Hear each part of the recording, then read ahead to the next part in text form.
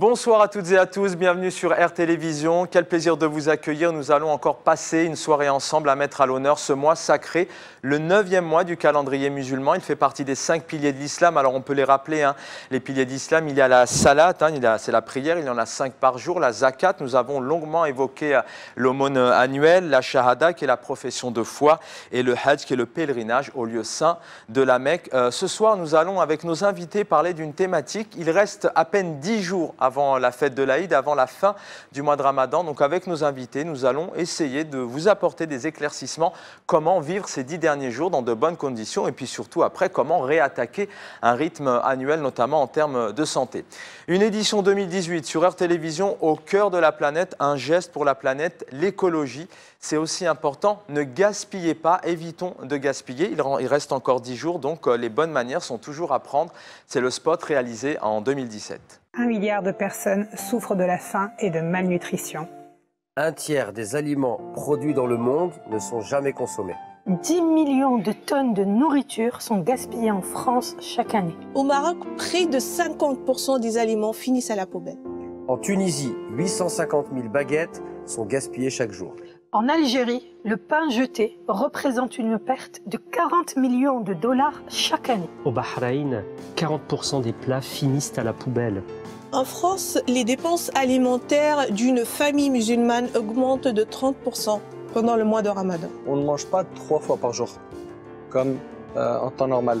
On mange beaucoup moins et on se suffit de beaucoup moins. Pour moi, le Ramadan est un mois béni. C'est Shahrut Taqwa, c'est le mois de la piété. Il est un mois de spiritualité et de partage. L'abstinence, le contrôle de soi. Tomber dans la surconsommation, c'est vraiment contradictoire avec ce travail d'entraînement sur soi-même. Donc chacun d'entre nous devrait réfléchir à réduire sa consommation. Maîtriser, se maîtriser appelle au bon geste et à l'épanouissement de soi et de sa famille. Et se concentrer sur sa démarche spirituelle et sur sa relation à Dieu. Allah Azza wa a dit Mangez et buvez sans gaspiller. Faisons de, cette, de ce ramadan 2017 un ramadan sans gaspillage, une consommation juste, une consommation surtout qui sera bénéfique pour notre spiritualité et pour notre corps. Ensemble, Ensemble. Ensemble. Ensemble. Ensemble. Pour le ramadan, sans gaspillage.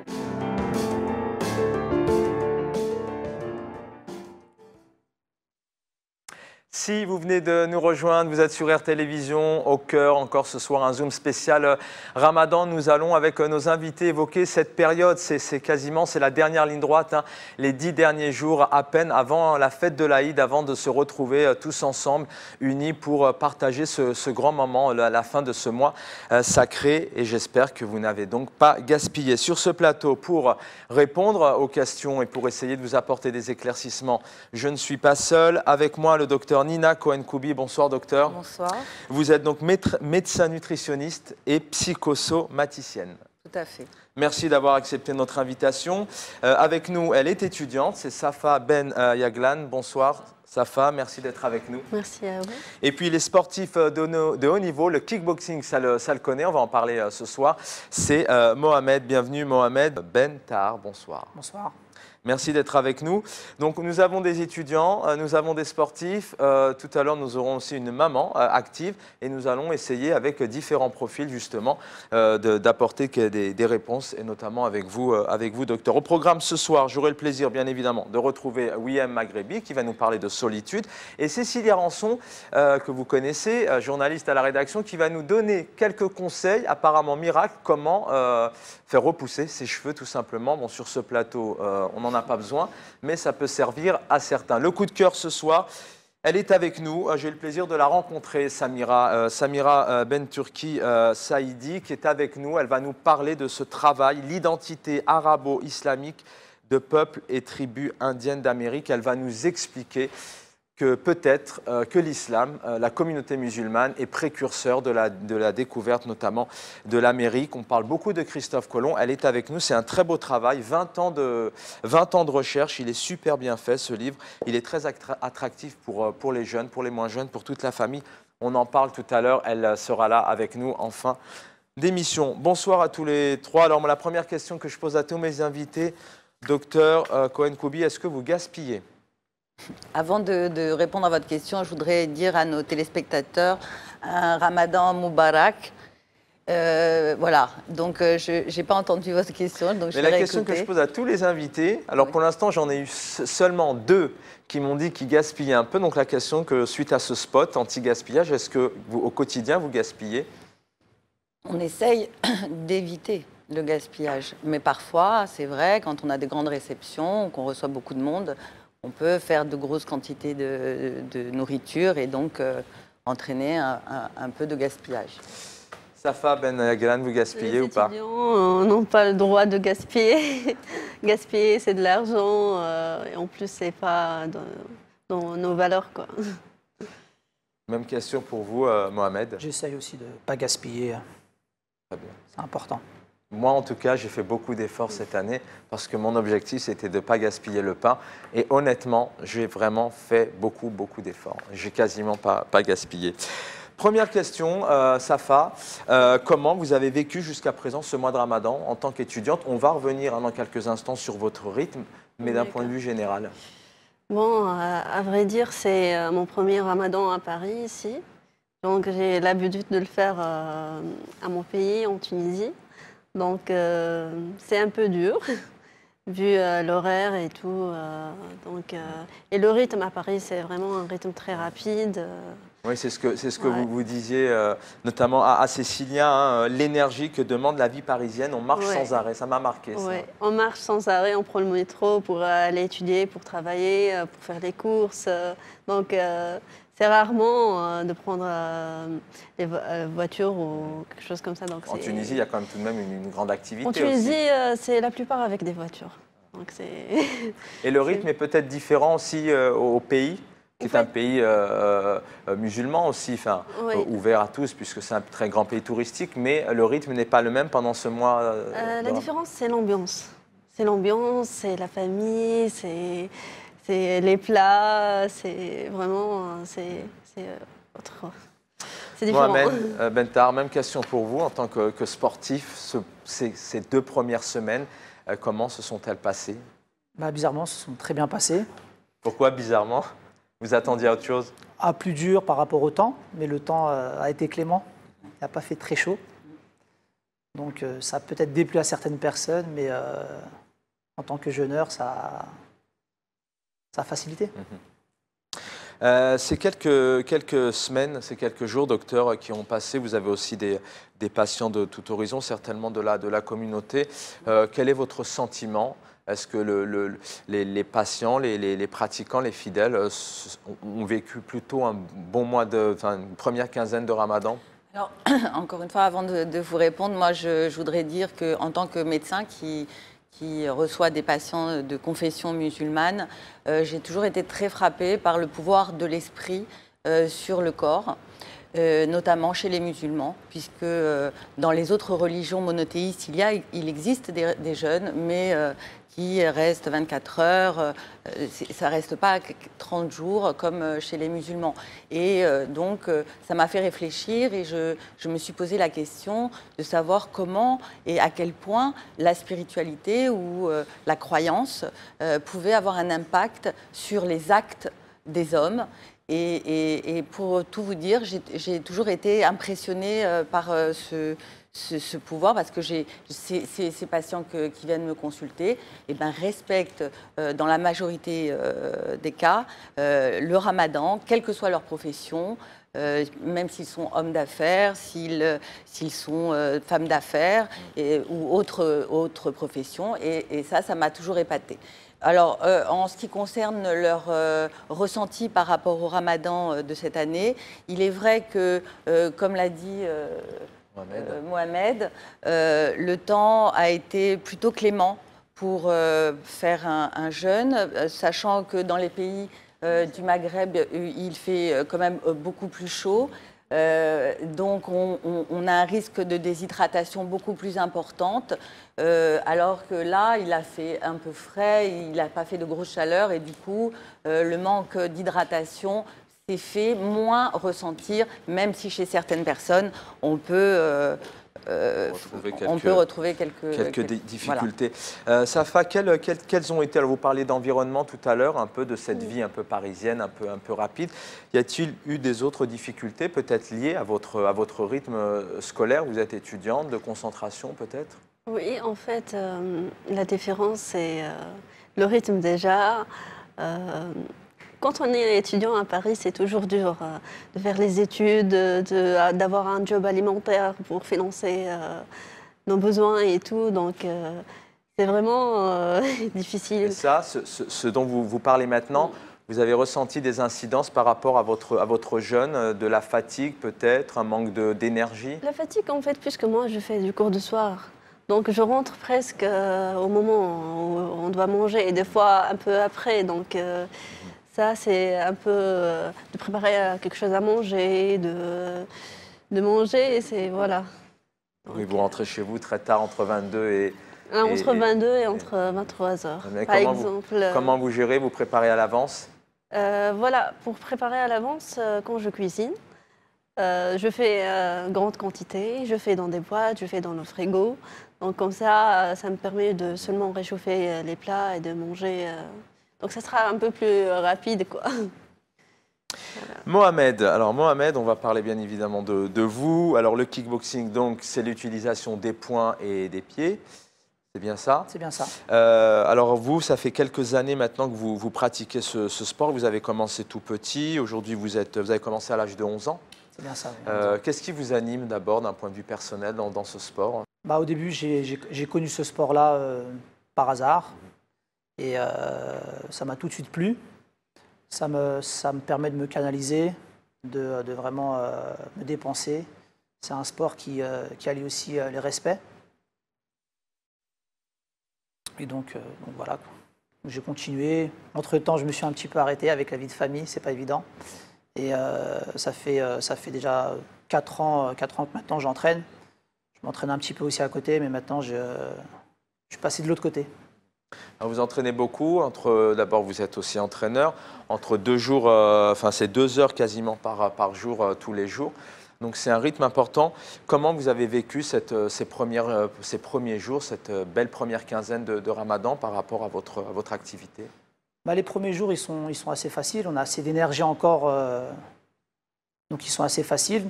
Après, les jours passent et ça commence à être un tout petit peu plus dur en termes de récupération.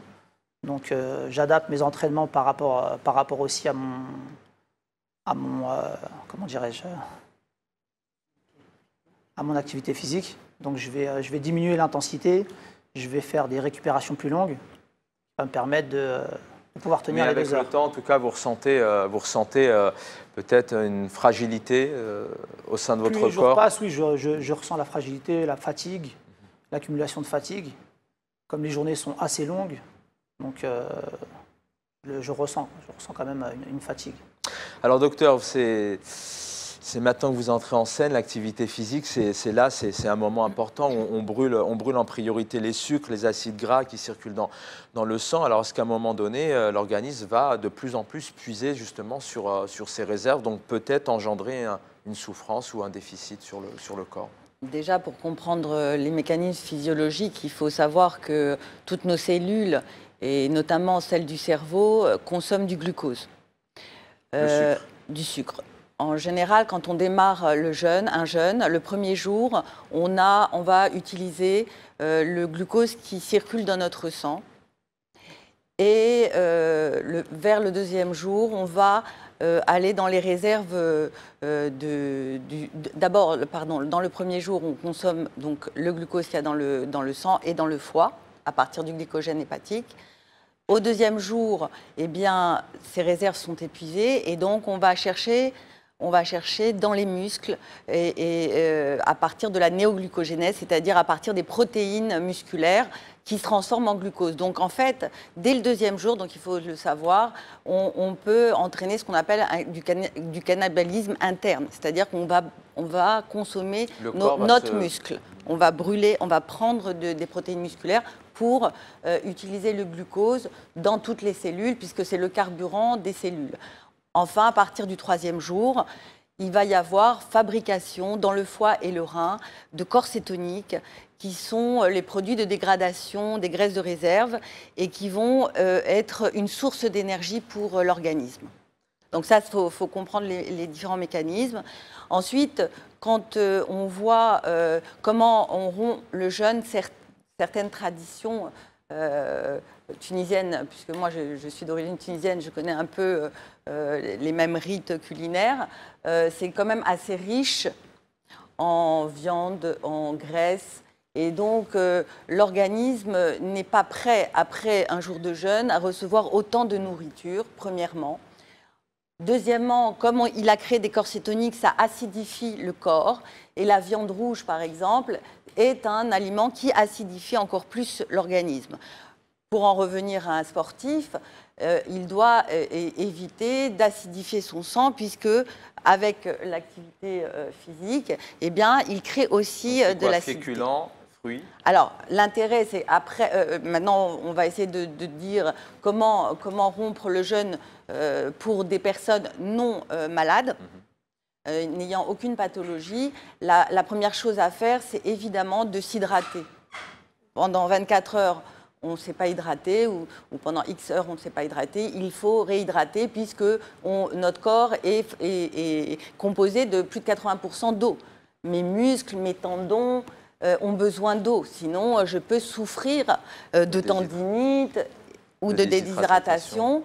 Euh, quand je suis en jeûne, euh, euh, parfois je peux être en hypoglycémie parce que j'ai fait une activité physique plus importante et donc j'ai dû consommer plus de glucose. Eh bien, euh, là encore, c'est important de, de bien comprendre qu'on peut avoir des maux de tête et l'hydratation, le manque d'eau peut aggraver euh, ces céphalées ou maux de tête. Donc, on commence par, euh, je conseille moi, une citronnade avec des feuilles de menthe pour re- revitaliser, avec euh, un peu de jus de citron dedans.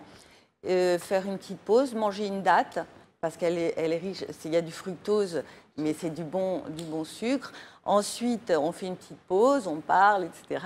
Et ensuite, on commence par une shorba, mais pas n'importe laquelle, Euh, pas une shorba qui soit grasse, avec, euh, avec du mouton, mais plutôt euh, quelque chose qui va être reconstituant pour les personnes, un bouillon de poulet avec du céleri qui a pour, euh, pour effet de revitaliser euh, la personne. Et quand, avec on des voit, légumes. quand on voit Mohamed, quand on voit Mohamed Oui. qui, qui- bon, qui se porte bien, Oui. sportif, on, on le voit, euh, c'est peut-être des choses un peu, un peu, un peu légère. Non, mais j'ai pas terminé. Maintenant, pour quelqu'un qui a, même une personne euh, qui, ne fait pas de sport, elle a besoin aussi d'un apport de glucides complexes euh, à index glycémique bas, c'est-à-dire que le, que le sucre va pouvoir être diffusé dans le sang lentement. Et donc, dans le repas, il n'y aura pas que du bouillon et du poulet, il y aura aussi une part euh, de céréales complètes, euh, plutôt du riz, du riz, des pâtes ou de la, de la semoule semi-complète qui va euh, justement euh, redistribuer ou apporter euh, le glucose qui, qui manque ou qui fait défaut après le jeûne. Alors, le docteur parlait tout à l'heure de, de l'utilisation de ces protéines musculaires. Est-ce que vous, pendant ces quelques jours, vous avez ressenti justement une- une- une- vos- votre tissu musculaire se fragiliser, peut-être être- vous sentir plus faible?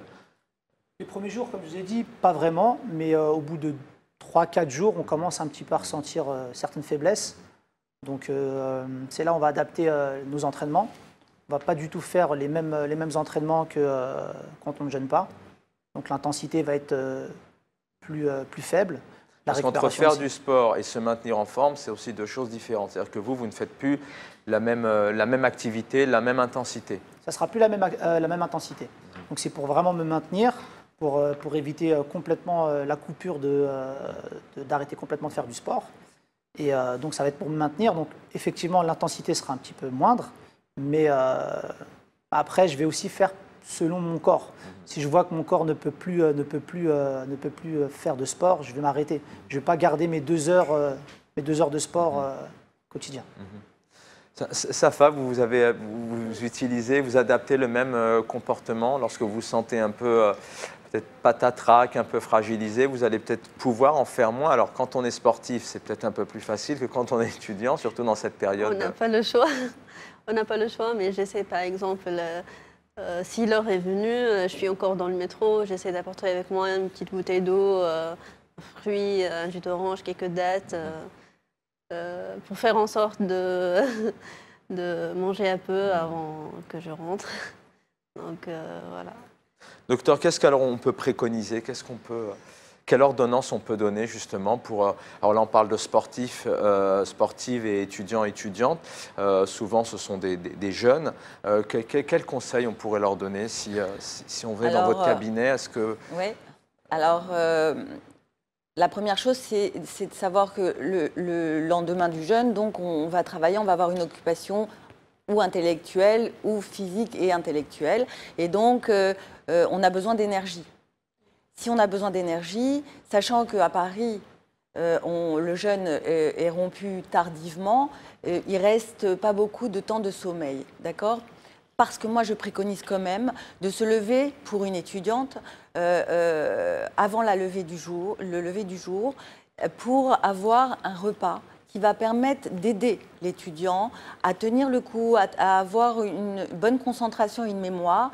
Ce petit déjeuner, entre guillemets, très, euh, très tôt, euh, euh, sera composé de protéines justement pour éviter qu'on brûle du muscle, qu'on consomme du muscle pour apporter au corps du, glucose. Donc, par exemple, un yaourt avec un peu de son d'avoine par-dessus, des fruits rouges, un thé, puisque le thé va euh, avoir un effet euh, très intéressant parce qu'il contient quand même de la caféine et que le temps d'élimination de, cette caféine est, est plus lente. Donc la matinée se passera beaucoup mieux.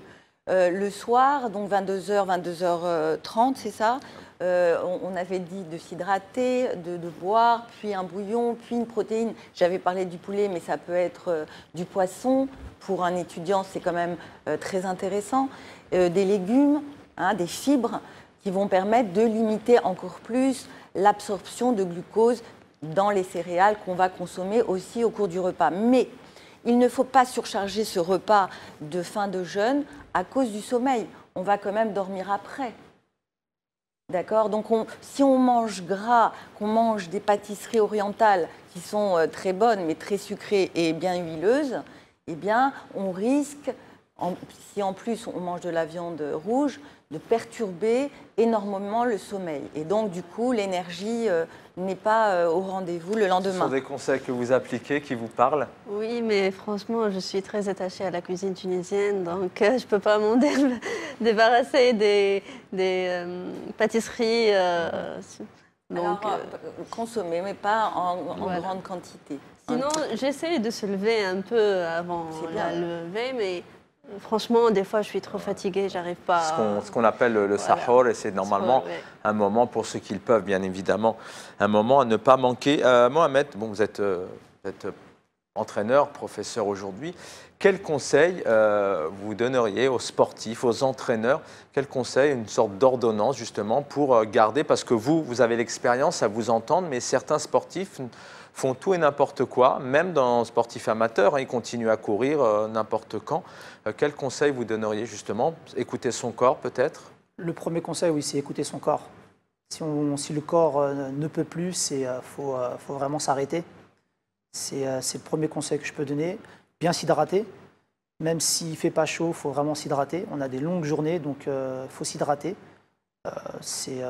Et aussi la nourriture, très importante. Manger, euh, manger, euh, manger sainement, ça nous permet aussi de tenir. Et, on, et moi, je le vois euh, tous les jours. Si, je, si le matin, je ne vais pas manger, je, je vais vraiment le ressentir le, le reste de la journée. En tout cas, prétexte, je ne fais pas de sport parce que c'est le ramadan, ça c'est faux. C'est faux. C'est possible. C'est possible. Docteur, vous vouliez réagir? Euh, Pour Mohamed, peut-être c'est possible pour certaines personnes. Euh, Je pense que c'est, il faut voir au cas par cas. Euh, euh, augmenter son activité physique, c'est euh, augmenter les besoins énergétiques. Et comme on est quand même limité pendant la journée euh, du jeûne en apport calorique, hein, de, de brûler pour avoir de l'énergie, je pense qu'il faut être prudent. C'est après euh, en fonction de, de l'habitude et de, et de la personne. Euh, C'est bon de faire son footing juste avant la rupture du jeûne. Alors moi j'ai tendance à faire ça, personnellement. Bon. Est-ce que c'est bon justement? De, Certains le font, d'ailleurs beaucoup le font. Est-ce que ce n'est pas un moment euh, peut-être qui peut générer des conséquences euh, en termes de déshydratation, problème euh, euh, de, de souffle? Ben, ça dépend. Euh, si vous êtes à Paris qui fait bien froid, il n'y aura pas de ce genre de problème puisque la température extérieure ne sera pas trop, élevée. Donc euh, c'est possible de le, faire. Et c'est sûr qu'en delà du ramadan, moi je conseille de faire une activité physique avant de manger. Donc euh, pourquoi pas? Ça peut énergiser la personne, mais euh, ce n'est pas pour tout le monde, c'est sûr. En tout cas, écoutez votre corps. Euh, Mohamed, avant de vous libérer, quelles sont les, relations justement avec, euh, avec, vos, collègues? Est-ce que, est que vous faites sans? Ils s'adaptent à vous? Quel est un peu leur sentiment quand on fait un travail aussi Même si le, sport, euh, enfin, le kickboxing est un sport de combat qui peut paraître individuel, mais c'est plutôt l'inverse. Il y a une vraie dynamique d'équipe aussi. Bah, la, la- la relation est très bonne. Même ceux qui, ceux qui vont jeûner, je vais, je vais, je vais faire attention à, à ceux qui jeûnent. Je, ferai vraiment attention. Qui, euh, qui, sont au niveau intensivité, qui ne soient pas trop, euh, trop, euh, trop à pousser au niveau de leur corps. Après, ceux qui ne jeûnent pas vont, respecter, vont, vont voir si, quand je vais courir, vont voir si, j'ai une baisse au niveau de, de, de ma force, vont, vont faire des arrêts. Donc de ce côté-là, ils, vont respecter aussi,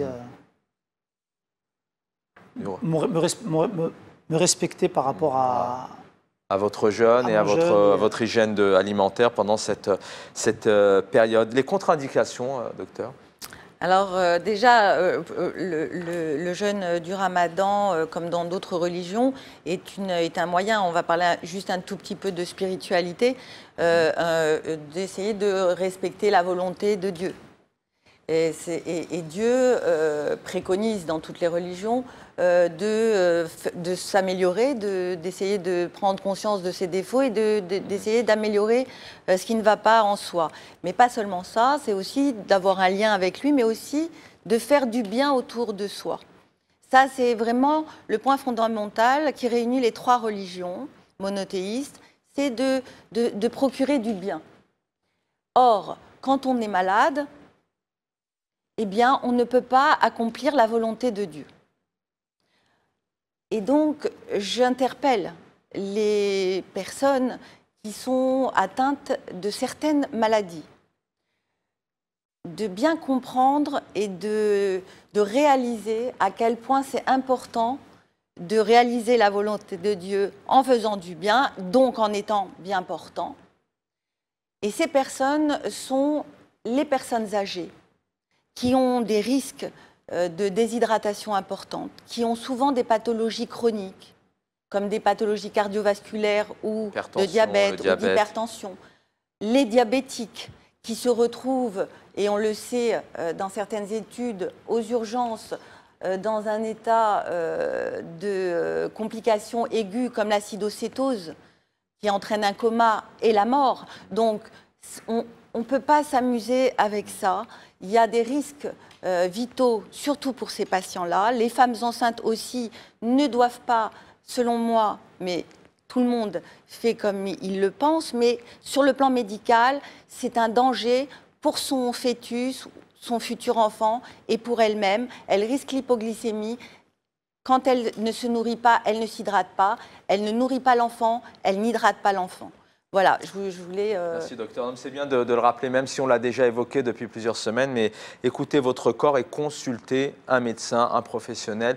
Et d'ailleurs, comme vous l'avez si bien dit, hein, lorsqu'on voyage on est âgé, on est malade, on attend un, futur événement, euh, normalement, on ne, fait pas le, ramadan. Mohamed, merci d'avoir été euh, avec nous. Un petit clin d'œil au club d'Argenteuil, c'est le ACSC Kickful. C'est un club qui compte plusieurs adhérents, je pense. Vous commencez à quel âge? L'âge de 9 ans? On commence à 8 ans À 8 ans. et jusqu'à 65 ans. Merci Mohamed. Donc on aura le plaisir de, de vous retrouver si vous le souhaitez euh, pour cette grande soirée. Ça sera un Zoom spécial. Fête de l'Aïd, donc vous êtes bien évidemment conviés sur le plateau. On se fait une petite pause et on retrouve tout de suite donc Soumaya euh, Khelifi.